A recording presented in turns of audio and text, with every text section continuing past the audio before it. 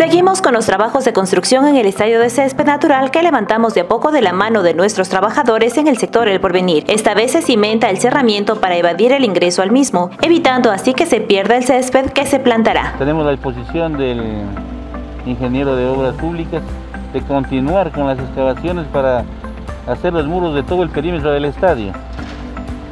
Seguiríamos, luego seguiríamos inmediatamente con la excavación para hacer la cisterna subterránea la que se va a utilizar para el riego del césped.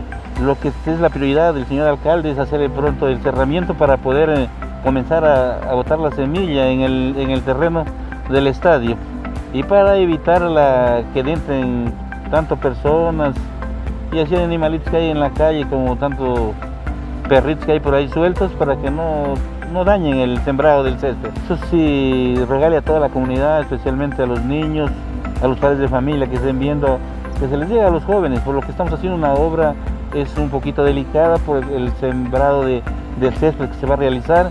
Entonces tenemos que tener mucho cuidado a que no se metan los niños, las personas mayores. Entonces poner de nuestra parte, nosotros como comunidad, para que esto salga bien. Trabajando todo un tiempo desde que nosotros comenzamos con el señor alcalde, comprometidos a terminar las, las labores que nos han encomendado. De a poco vamos dando forma al escenario deportivo para el cantón, obra que habría sido requerida por nuestros deportistas desde hace mucho tiempo. Quien ama construye, no destruye. Abogado Armando Figueroa Gurto, alcalde del cantón Catamayo.